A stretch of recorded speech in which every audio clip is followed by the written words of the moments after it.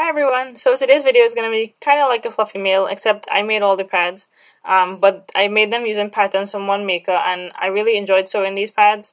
Um, I found the pattern so easy to use and I love the fit um, and feel of the final pad so I really wanted to show um, show them all together so you, you know I could send some people um, the maker's way because I think they're really great patterns that anybody who likes sewing pads um, should try. So all the pads are from the Happy Hippos. Um, Two of the pads are from a free pattern that she had over the weekend called the Sarah. Um, the pattern was just free for a couple days. I think it will be on sale at some point, and I highly recommend buying it when they do come up for sale. Um, and the other ones are all from her Curvy Flare line.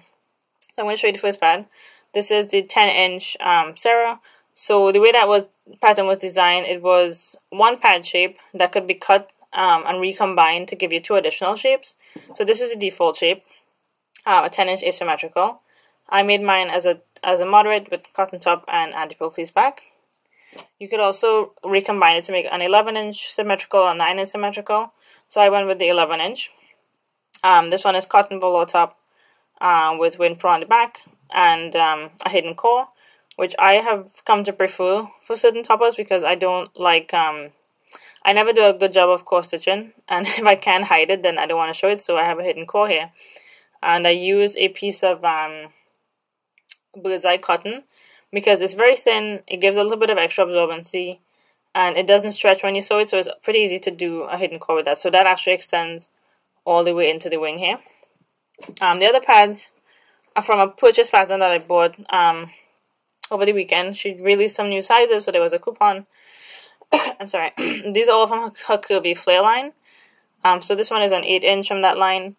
Um, cotton velour top with upcycled denim on the back. This also has a hidden core. So I just used one layer of um, um, bird's eye cotton all the way through.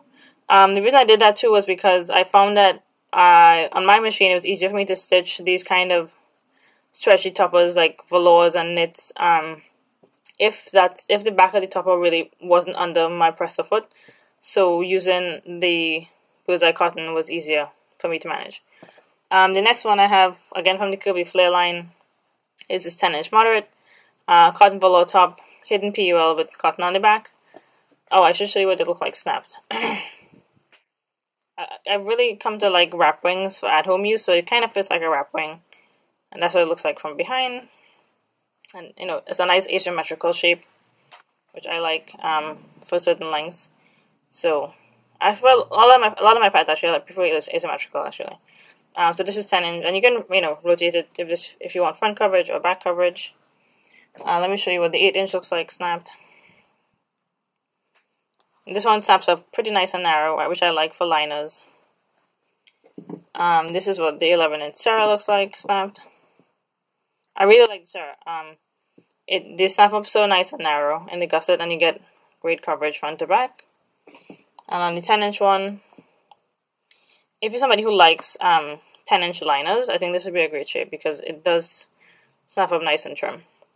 And the last one I bought were the 12 inch curvy flare pattern, and I bought I made two of those. Sorry. Um, so this is this one is cotton velour top with hidden PUL and uh, upcycled denim on the back, and this is what it looks like snapped. This is on the wider width. The pattern comes with two snap options. Um, I'm not sure I put my snaps in exactly the right place, but this is where I wanted mine. So again, great um, asymmetrical coverage. And the second one I made from that same size was um, uh, this knit top hidden PUL with cotton on the back because I wanted something that was a little bit thinner because this one turned out a little bit kind of thick because of the velour paired with the denim. But this one is super thin with um, hidden PUL and cotton on the back. And it looks a, little bit trimmer. Um, so yeah, so those are my pads from the Happy Hippos um, patterns. Highly recommend them. Um, I'll include the link to her Etsy shop where she sells the patterns and to her Facebook group. Um, Facebook group is a really fun place. Lots of people posting pictures of their pads. Uh, she also has several coupons available if you want to buy several sizes, uh, which I like because sometimes um, pad makers sell their patterns in a big bundle, which obviously you know you get it for a cheaper price to a pattern, but I don't really use all the sizes. I, I know what sizes I want. So I was able to buy the 8, 10, and 12 individually um, and get a good deal with the coupon. So um, I'll include all those things below, and thanks for watching. Bye.